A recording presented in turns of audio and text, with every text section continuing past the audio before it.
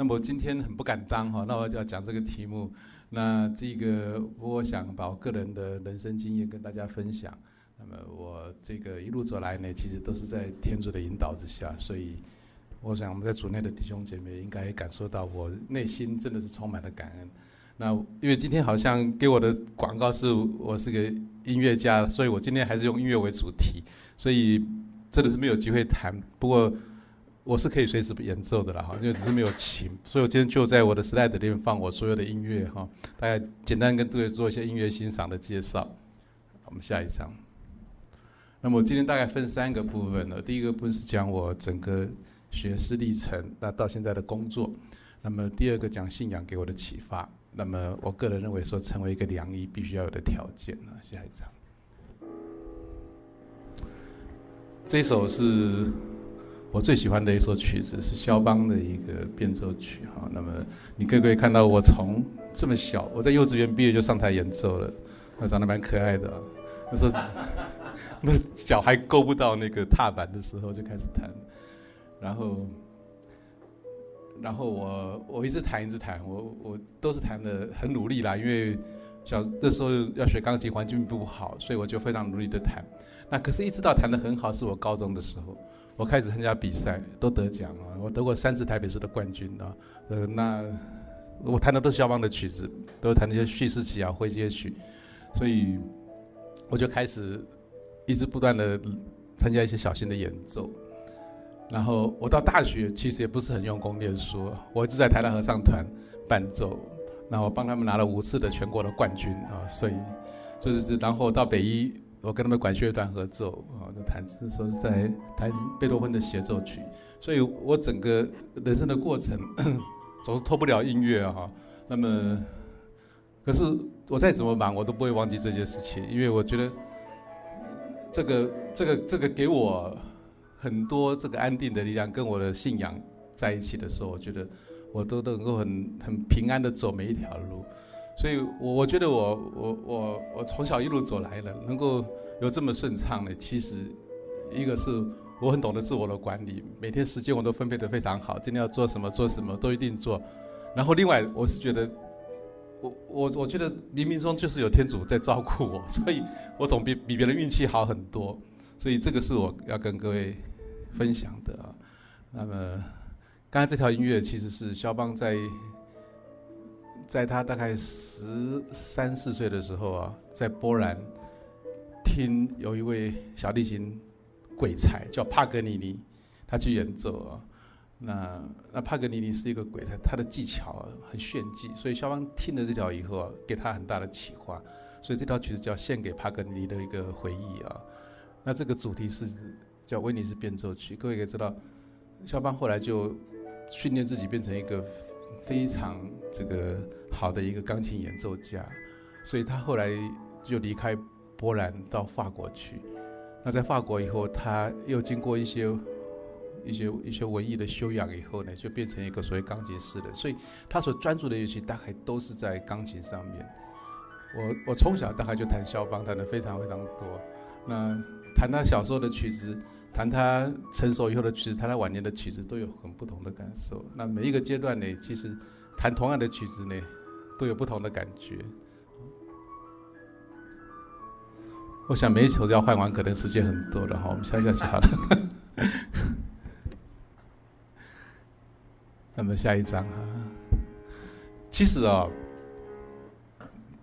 说稍微小声一点啊，这条是幻想即兴曲，这条是我演奏最长的演奏的曲子，到现在实际上在演奏这条曲子。那这个是我第一次弹这个曲子，是在我初三的时候，那个国三的时候，所以所以那时候大家觉得说，这个孩子弹的真好啊，跟跟大人弹的一样。那当然现在感受不大一样，不过我要讲就是说，学钢琴其实是一件很不容易的事情啊。为什么？因为它跟学运动什么一样，就说你知道超过一个月不弹。你大概技巧就差很多，而且我现在觉得说，现在手老了以后啊，你他一两个礼拜不弹，他就速度就没那么弹的那个感觉就不一样，所以他简直就是一个一直持续不断要练习的。所以各位知道，很多在音乐系里面主修钢琴的，他没办法上台演奏。今天今天那个孩子弹的再好会背，可是要上台弹那是很难的，所以这都是训练，所以要不断的训练自己。所以所以你要维持一直弹钢琴，第一个你要有上台的机会，你一定要有一个目标设定，那你一定要弹到说自己喜欢弹，这个在十个学钢琴、学小提琴的人，大概只有一两个能够，所以我觉得我非常幸运，所以我跟各位分享就是说，当你有一个孩子要学琴的时候，其实。第一个要让他自己弹，起码他自己很喜欢听自己弹。那第二个呢，他要一直持续有个目标在设定，比如说他要参加比赛，他要参加演奏，然后他自己呢一定要试图的使自己弹得更好。那那这个这个才能够是一个持之有恒的一个对乐器的一个爱好。当然，我们到老了还是可以学乐器，那学的角度就不太一样。他能够让自己能够来舒压，能够跟人家对话啊。那那这个就是让一个人能够保持。对乐器的一个爱好，然后变成生活的一部分，所以我到现在每天都还练琴，那至少有半个钟头、一个钟头。如果今天真的是忙到都没时间练，我睡觉的时候就觉得今天还有一件事情很遗憾，就是没有弹到琴啊。所以那我大概每一两个月就有小型的上台的演奏或或或录音哈，因为我我经常喜欢录一些 CD，那么。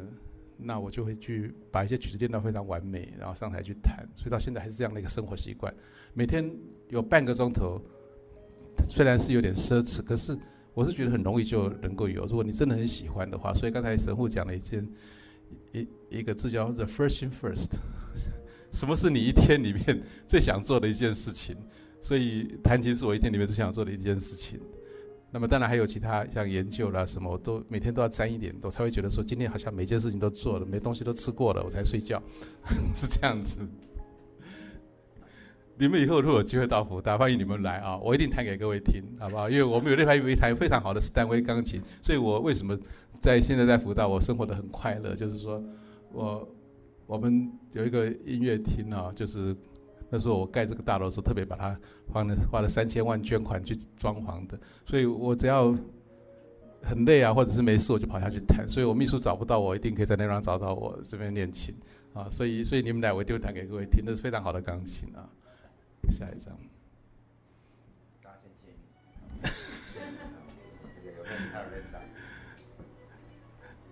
那。这这首曲子是我们医学系现在是四年级嘛，他刚刚考执照，那个严丁代同学的演奏，他拿过全国的小提琴冠军哈，他是音乐系同学考上医学系的，所以他们只只要考上医学系有音乐班的资历的话，我都会把他找来，然后给他安排一些演奏的机会，叫他经常要练习，叫他们不要忘记这些事情。我觉得。因为我的用我的经验，让他们也是跟我一样，能够音乐伴着他一直成长，当医生的这样子。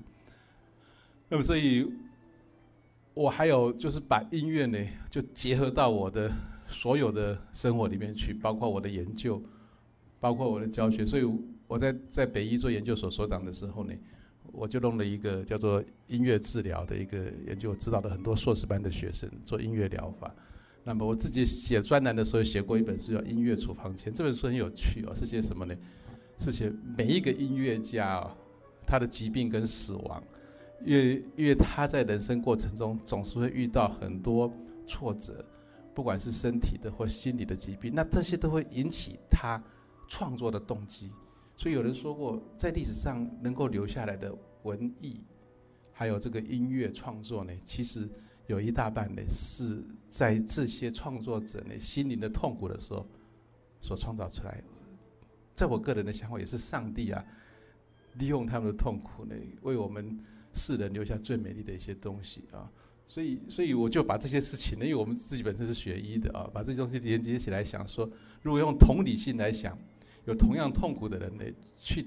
听他这些音乐呢，应该有特别的感受 啊！就这本书是引起蛮多的共鸣的，所以这本书这个蛮畅销的啊！我现在发现说，连爱乐电台那些主持人，每个人都有买这本书，因为他们去去年有邀请我去去去演讲，然后他们我其实是因为我很喜欢听这个电台哦，那他们其实都是我每天听的偶像，他们我去他们说我是他们的偶像，每个人都有我的书啊。那么不，这个书是很有趣的，所以我是觉得。除了说我刚才讲的，你每天花很少的时间去做一件你很喜欢做的事情，日积月累啊，它就变成你生活中很重要的一部分以外呢，你要把它融入到你生活的每一部分啊，包括因为我是医生，在医疗啦，那么在教学啦，在研究上嘞，那都有关的时候，这个事情就就就不会先就不会从你生活中消失了。那那其实我们。辅仁大学医学院呢有一个特色呢，音乐治疗几乎是很多系都有的啊。我们的职能治疗系，我一个学生是专门做音乐治疗的。那么在我们的呃护理系，在我们的临床心理系，他们都有这个课程。那当然我们音乐系有，我其实我在复旦另外一个最快乐的事情是我们有音乐系，我跟他们老师互动都非常非常好。那我们最近在思考说我们要弄一个学程来训练这个音乐治疗师啊，因为现在音乐系其实他们走传统的路线，其实呢。他们的路是不大好走。如果他们给他们学一些怎么样去舒压啦，怎么样用音乐来帮助人呢？各位知道我我这个智能治疗系这个学生呢，他最近拿到管理学院的博士，他做的题目是什么呢？就是说那些卖场啊，那些餐厅呢，要听什么音乐啊？对这些呃顾客呢？会有刺激购买欲了哈，那对这些员工呢，他他会有很舒压效果，哎，这个是很好的研究。对管理来说，管理学院的博士班是蛮有意思的。所以你知道我们在在任何一个领域都要跨领域去做一些推广。那辅仁大学其实是全国最好的跨领域的一个大学啊。下一张。那么后来我就进到大学里面去那。我们那一班呢，其实是非常耀眼的一班哦。我在我们班还是小人物了啊。我们昨天才开同学会啊，各位知道我们班上出过三位卫生署长啊，林芳玉啦、侯生茂啦、这个叶金川，昨天都有去。那我们现在我们班上现在大概所有全国的大医院的院长都是我们班的同学包办的，台大、荣总，还有我们的更新医院啊啊新光，那也不知道为什么了，不过。就是在在那个时间点呐，我们的前一班出国的很多，我们这班出国的就不多，所以我们这班留在留在留在国内，后来去阿拉伯服务啊或什么，后来就在台大就他们就做的非常好，那么。那我们这一班呢，其实，在我们天主教的医疗系统呢，也做了非常多的贡献啊，包括我们的周国英院长是我们班的同学。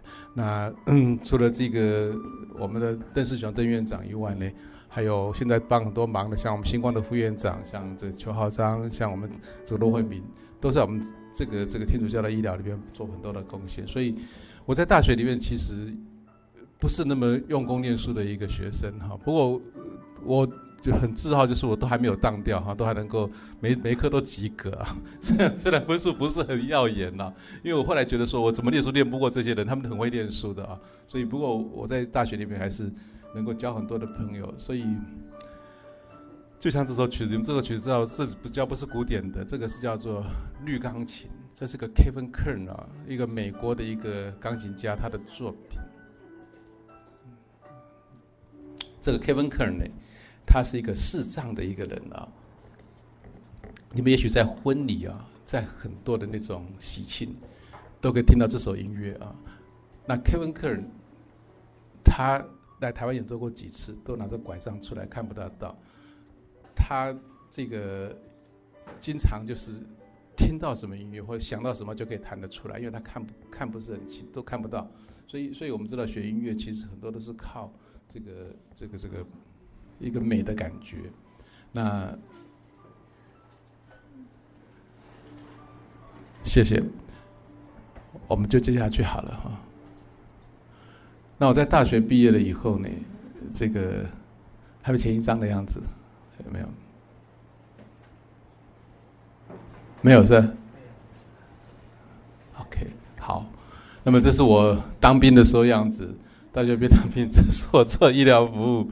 那么这个是在德国留学啊，那就是大学毕业以后呢，其实我其实改变的蛮多哈。其实我以前是一个蛮害羞的人哈，那后来人人家都不大相信。不过你问周院长知道，他就告诉我说：“哎，你大学不是这个样子啊。”那么因为一方面我我我的我的兴趣是弹琴，所以很少跟人家交谈。那么另外其实呃。这个这个，在学校里面呢，其实我也不是很突出的人啊，所以这个个性就比较内向一点。可是后来当了泌尿科医生啊，又说男性医学，那不能不内不能不外向一点，所以后来就经常在演讲。那么这个我到德国去，其实也是给我很大的一个呃人生不一样的一个呃境遇哦，因为我那时候在台大做住院医师，做完了那时候我们台大那边有火车站有个中德文化中心，我去那边补一些德文啊，因为我觉得以后去日本、去美国的机会很多，然后去德国试试看。而且我爸爸以前是在德国留学的，所以后来我就去考一个德国中德文化交换奖学金，没想到一考就考上了。然后读到就到慕尼黑大学去，那那个教授对我非常好，除了教我那些社会性的切除术以外，让我做研究，让我拿学位，而且他。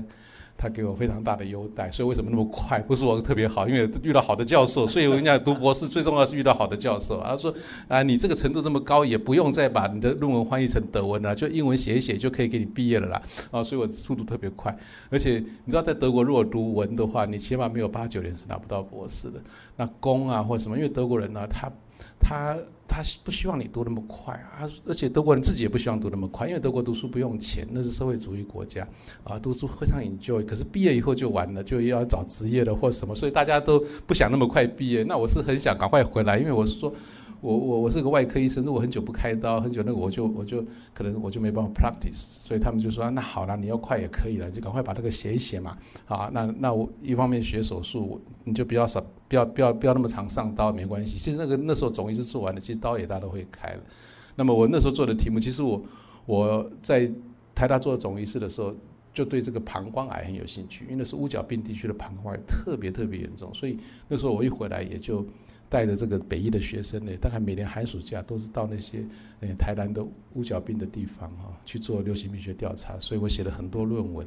那 其实我我有一个很大的优势，我喜欢写东西，我没事就静下来就就写东西，所以我不管是在学术论文也好，一般的写作我都写的比人家快，所以我我就是写专门写五角病的学旁外，所以很快就升到教授了。所以所以这个是在我在德国跟跟我的同事们去那个。啤酒，因为慕尼黑是啤酒节很有名啊。我记得这个，我刚去的时候，我觉得哎，我在台大酒量还算不错，可是跟德国人比起来是不能比。就像杜神父一样，酒量比我好很多嘛，对不对？他说我们去啤酒园喝啤酒，跟这些住院医师，他们大概五六点下班才去喝，他们天亮到十一点，然后他会说：“哎，大哥江你要喝多少？”我说：“我喝五百 CC。”瞪我一眼说：“那五百 CC 那是小孩子喝的那种酒杯，我们是一个酒杯就一千 CC，我们通常是喝五到六个这个六六杯才就结束了。所以所以所以在那个地方就是这样，然后到晚上十一点才回去，隔天还要上班啊。所以在在这个人生过程中，我是觉得后来我的个性就慢慢的改变了哈。那么我是觉得现在我们其实我们希望医学生一开始就能够这个样子，不要在社会中才慢慢的改变自己，变成一个比较。”能够跟病人沟通的一个医生啊，下一章。那么，那么我我其实，在北医呢，其实做的还不错啊。那么，呃，我在那边，因为我从德国回来以后呢，我爸爸那时候在北医盖了一个医院，那叫北医附设医院。那那时候没有泌尿科主任，就叫我去做泌尿科主任。所以我去那个地方以后呢，就开始创设那地方泌尿科。所以，呃。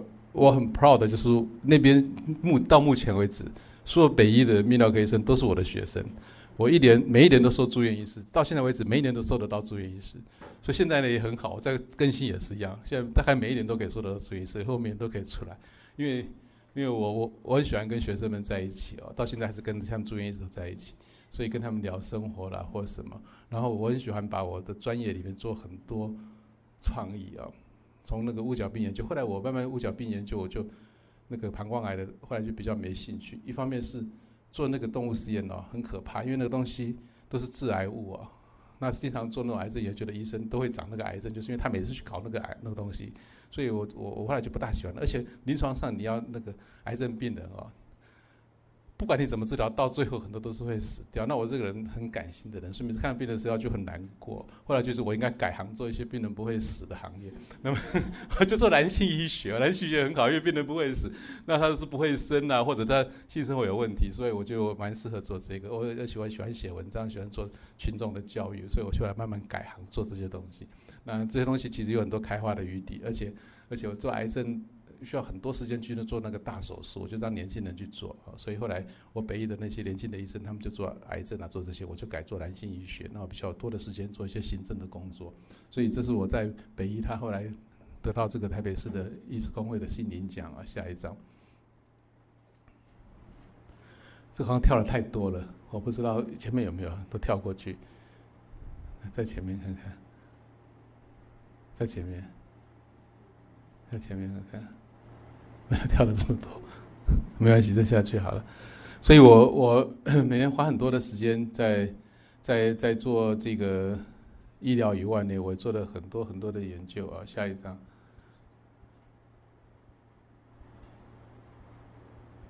所以其实其实做研究啊是越来越困难了，尤其现在。要得到国科会的这个计划呢很难，那我几乎每年都拿到国科会计划，因为我都花一定的时间进研究所，到到现在还是有这个习惯啊。那像今年其实只有百分之二十通过，我还是通过，去年没有通过就很难过，因为我我大概从有八年每年都拿到国科会的计划，我我现在论文很多，可是到这个年纪来，有很多论文是跟人家合作，可是我还是保持每年至少一两篇是我自己写的。那你你问我说？你有怎么做的时间写论文？写论文是非常辛苦，跟写一般的文章不一样。我大部分都出国的时候在飞机上写的。那么我不喜欢到处去跑，所以在旅馆里面大部分都在写论文。所以你有时候去看我就在写东西哦，因为我很喜欢写这些东西。常在做看刘月的意见或是这样子。下一张，这是我爸爸。我我爸爸是以前在台湾就做泌尿科很有名的江万轩了。他今年九十岁了，那么他以前没有要我学医啊，他对我是没有什么呃给我什么压力。我们其实也很少交谈，因为他他很忙啊。我以前有一次问他说：“爸爸你做什么？”他说：“我在教书。”我说：“你在教什么？”他说：“教医学。”我说：“有一天会跟你教到啊。”他说：“你如果给我教到，我就很放心了。”就真的有一天我就被他教到了。那么，那么他其实也没有一直要我。要我做医生，可是我运气很好，考上台大医学系。因为我功课其实没有那么好，能够考上台大医学系，我天主让我考上的。结果后来我爸爸的同事啊，有个叫李志尧，他是妇产科的这个主任啊，他跟我讲说：“你知道吗？你考上医学系，你爸爸好高兴哦。”我说：“你怎么知道？”他说：“那天哦，他请所有台大那些教授在他研究室喝啤酒啊，我才知道他很高兴哦。不，他所以所以其实一个医生在本行做的。做的很好，他很喜欢自己小孩做医生，可是他他他他都不好意思讲出来。不过后来我有这种感觉，那么我女儿，我一个小女儿考上医学系，我也好高兴。虽然我一直没有想她考，她自己很喜欢去考，她重考就把她考上了。考上那天我也非常高兴，我就请我同事全部的同事喝啤酒，感觉说，那 所以那我我是觉得，我后来就跟他做同行。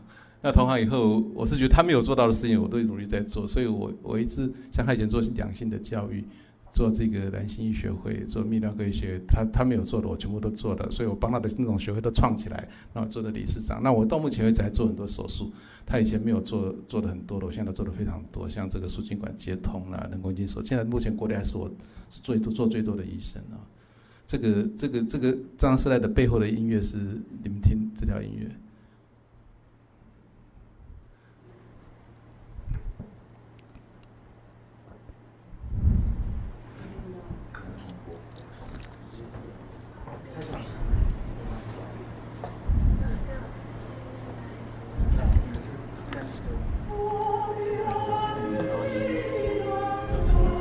我很喜欢这条音乐啊，这条音乐叫做《我亲爱的爸爸》，这是普契尼的歌剧啊，叫做《Johnny Skiki》里面的一条歌。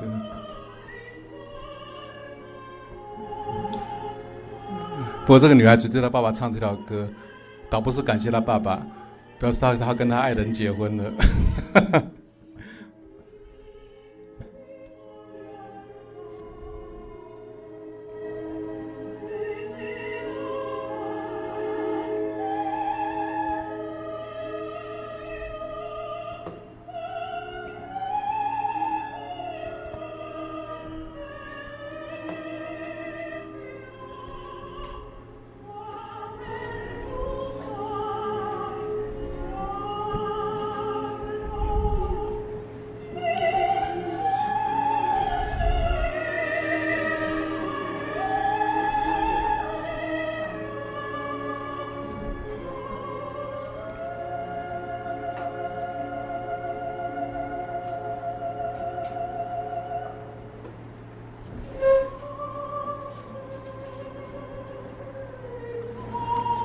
我爸爸九十岁了，他最近才临洗。嗯，好，下下一张。那么，其实到辅仁大学啊，医学院其实是我人生的新起点。我很感谢一个人，就是我们邓师兄邓院长啊，因为他来找我的。那我本来跟福大其实也没有什么太大的渊源。那时候刚好我们陆院长啊要要退休了，那么就是问我要不愿意去。那其实那时候我在。在北医也选上了医学院院长，那那时候因为他们叫我先做一点系主任，再接院长。那那时候我觉得我我我就先来福大看一看，那那时候戒掉一点。不过来了以后我就留下来了，因为我非常喜欢这个地方那么我觉得这个地方很需要我，所以我就一个新的起点。对我来讲呢，我把自己的这个这个所学的呢，把它融入一个新的一个医学教育里面，那么。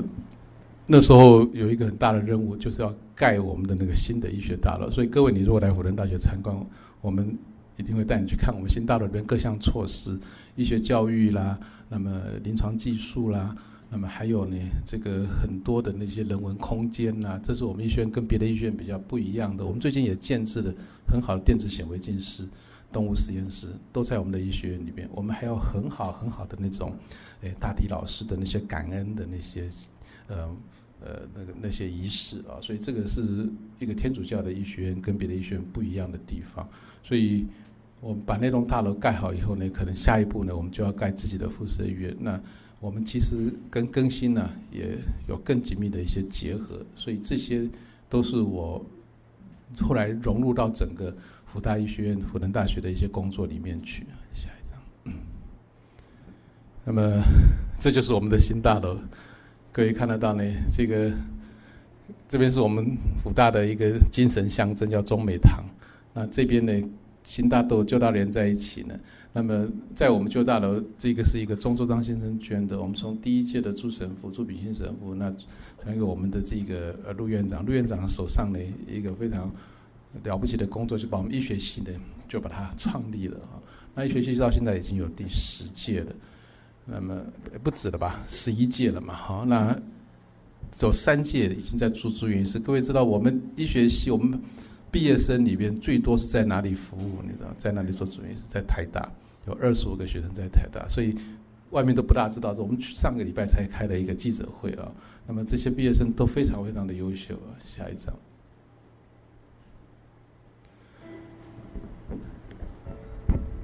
那么。这个这是我们上礼拜所开的哦，叶主任啦，我们周院长都到了啊。这个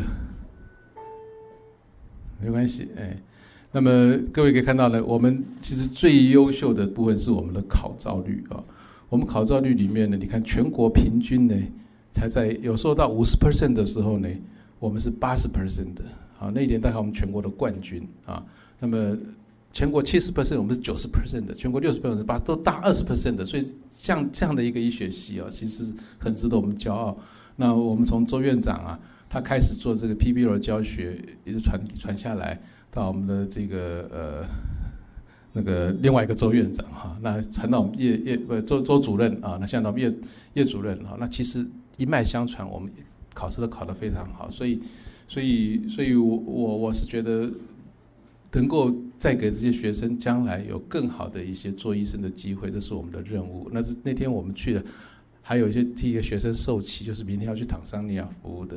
那么有些学生就刚才讲的很多很优异的那些人文天才学生，所以我我我很感谢天主给我们这样的一个呃好的学生教育啊。那么他们虽然进来不是最好的，我们希望将来进来会更好的了。好，那可是他们出去呢都是非常好的医学人才。下一张。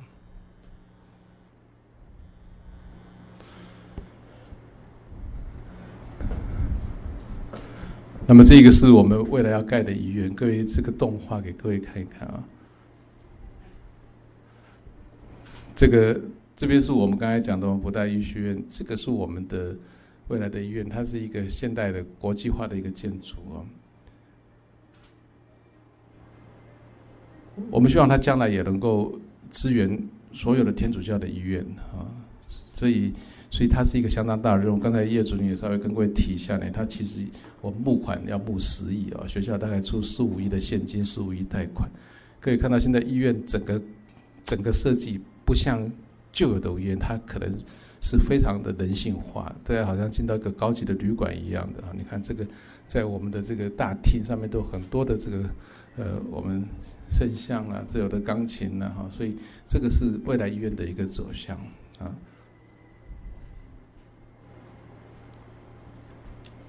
下一张。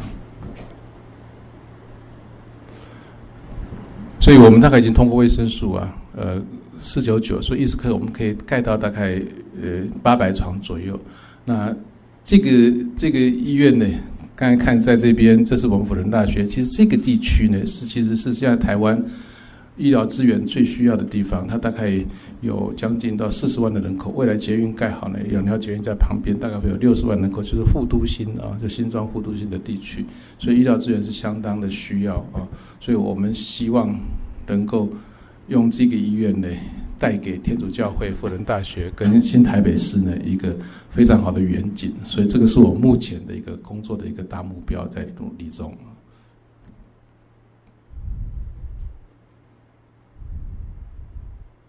来，下面一张。那么，所以我常想，这个这个故事，各位知道，圣方济呢，圣方济他本来是一个富家子弟啊。那么，他这个放弃了他一切呢，那进到这个教会里面去呢，替教会带来很多的一些改革或什么。所以，所以我，所以我其实我在想，如果我当初留在北医啊，留在没有进到这个复大医学院，其实我可能只是一个很有毕业生。可是将来如果说能够替替这个是我们我们天主教会啊，替辅仁大学啦，做一个很大的贡献，我是觉得。跟我的信仰结合，这个是是是一个呃一个很远大的一个目标啊。下一章。那么下面一部分我在讲这个关于信仰啊。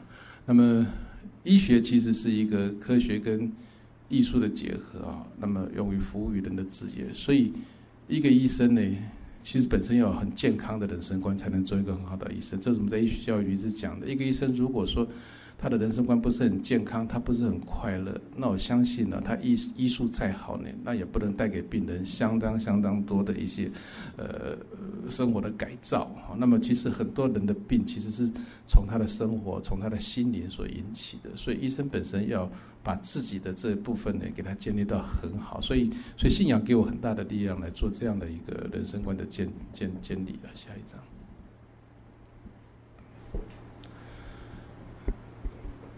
嗯，宗教啊，其实我是觉得，在我们每一个人的人生中，其实是安定自我最大的力量。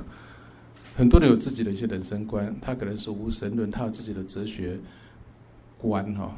我对每一个人的想法都很尊重，可是我觉得我我很幸运哦，能够有这样的信仰，很简单就能够给自己一个对人生很多圆满的一些解释。所以，所以这方面来讲，我我我是觉得我很很想也为这样做见证啊，那去影响我周边的人，也能够跟我一样有同样的一些人生的一些看法。下一张，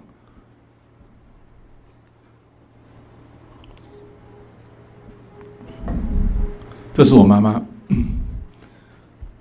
我妈现在八十七岁了啊。那我很感谢我妈妈，是因为她从小。没关系，给他放没关系。他是从小带我去教堂，那让我变成教友啊。那他从小让我学钢琴，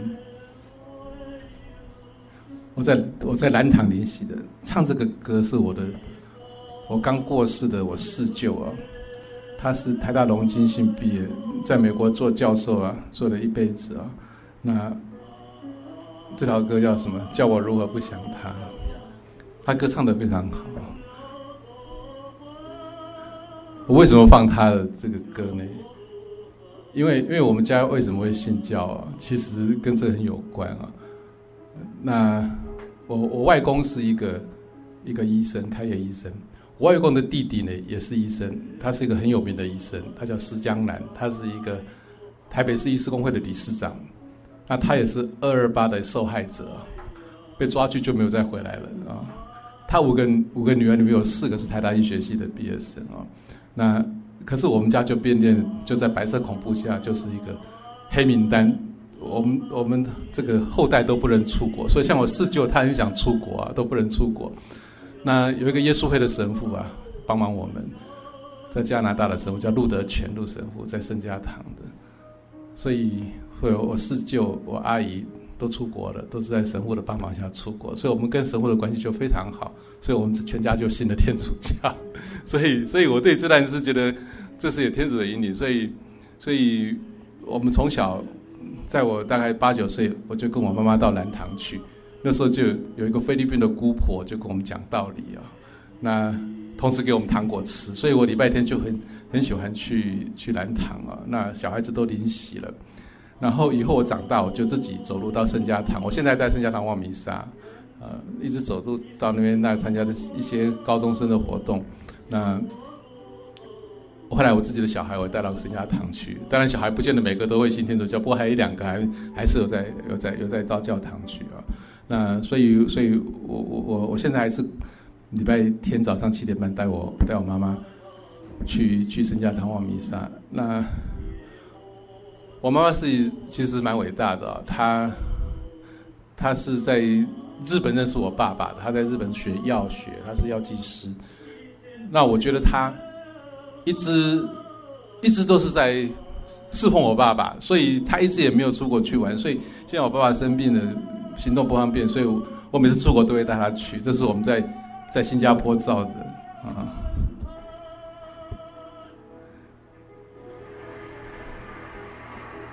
我是就是在在那个阿拉巴马的 Hansfield 那边做教授。他刚过，是我去年刚好这个搭飞机经过 Hansfield 的时候呢，我跟那个我们一个校友叫陈志远先生在在聊天。聊到后来，他在那个时候就答应捐给我们五百万美金，所以我觉得 这个好，上帝好像就是有这么意思，刚好经过这个地方的时候，下一张。所以我我觉得，其实你要去解释人生很多的那些哲理啊或什么，其实有时候是蛮困难的啊。可是你如果信仰天主，那是很简单的，啊，所以这个对我来讲，我有时候不会把它想的非常的。困难，好，很多事情就交给天主。那么，其实对我来讲，我很多运气都是天主给我的。其实我我在我在高中成绩还不错啦，没有没有到那，可是我我第二志愿就不是医学系了，所以我那时候能够很顺利考上台大医学系，我觉得哎，冥冥中是天主的一些安排。那做泌尿科医生，能够到辅仁大学来服务，然后继续走下去，整个路现在想起来，也不是我自己。这么努力就可以得到的，好，所以我我我非常感恩。然后我是觉得很多事情在天主安排下，我能够继续为为为为教会、为辅仁大学做更大的贡献。